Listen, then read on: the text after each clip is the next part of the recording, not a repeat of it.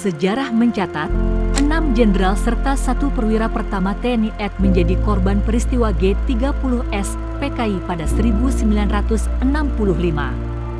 Namun, lembaran sejarah kelam bangsa Indonesia hingga kini masih menyisakan misteri mengapa Panglima Kostrat saat itu, Soeharto tidak diculik dan dibunuh Partai Komunis Indonesia, PKI.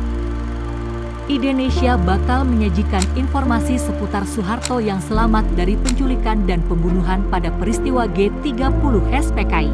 Selengkapnya, mari saling menerima.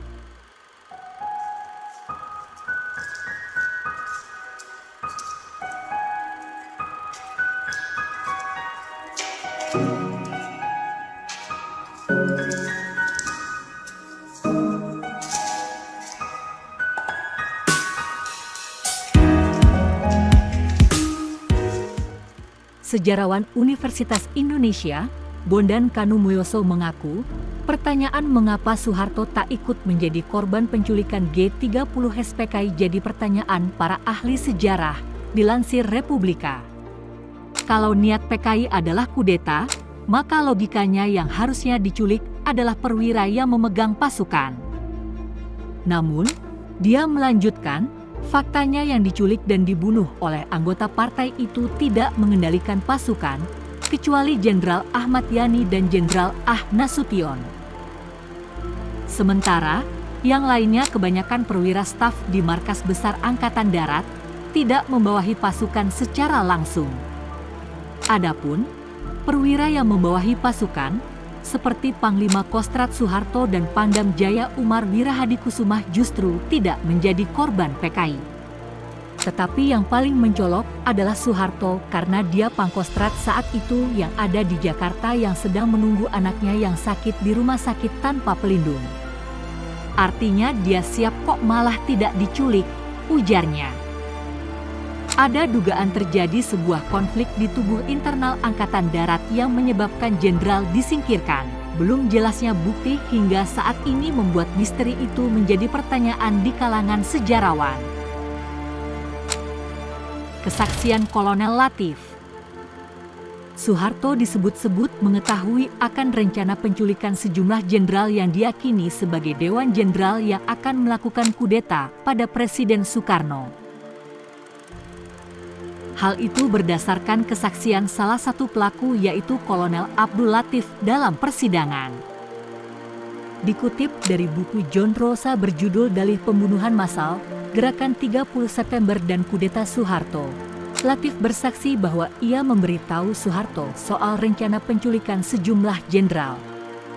Sehari sebelum kejadian itu saya melapor langsung kepada Bapak Maijen Soeharto. Sewaktu beliau berada di RSPAD, Rumah Sakit Pusat Angkatan Darat sedang menunggui putranya yang ketumpahan sup panas. Dengan laporan saya ini, berarti saya mendapat bantuan moral karena tidak ada reaksi dari beliau, kata Latif. Tak hanya sekali, Latif bahkan sebelumnya pernah membahas soal isu adanya Dewan Jenderal di rumah Soeharto.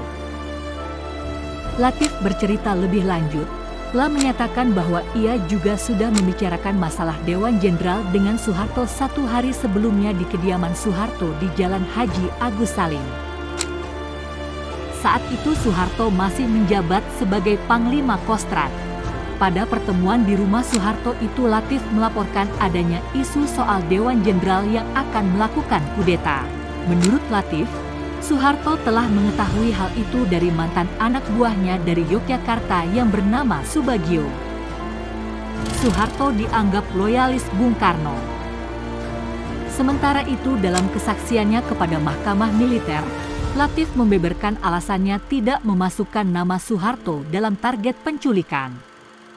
Karena kami anggap Jenderal Soeharto loyalis Bung Karno, maka tidak kami jadikan sasaran, Kata Latif seperti dikutip dari buku Gerakan 30 September, Pelaku, Pahlawan, dan Petualang 2010. Tak cuma itu, Latif bahkan melapor ke Maijen Soeharto yang kala itu menjabat sebagai Panglima Komando Strategis Angkatan Darat.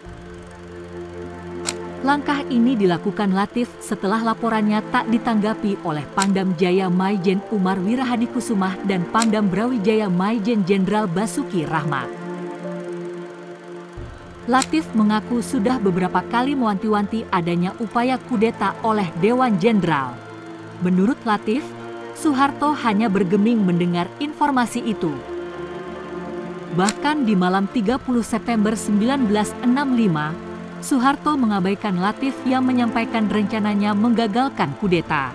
Soeharto sendiri mengakui dia bertemu dengan Latif menjelang peristiwa G30S.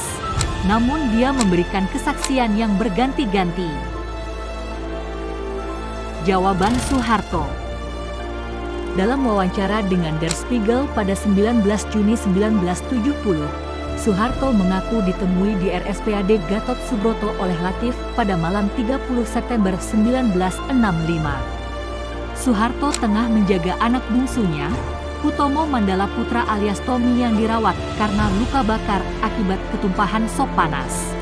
Namun katanya, Latif tidak memberi informasi apa-apa, malah akan membunuhnya saat itu juga.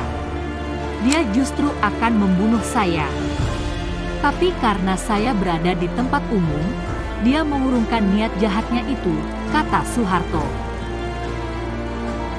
Namun dalam autobiografinya, Soeharto, pikiran, ucapan, dan tindakan saya, 1988, Soeharto mengaku hanya melihat Latif dari kejauhan dan tak sempat berinteraksi. Begitulah fakta-fakta yang terangkum dari berbagai sumber. Bagaimana menurut kalian?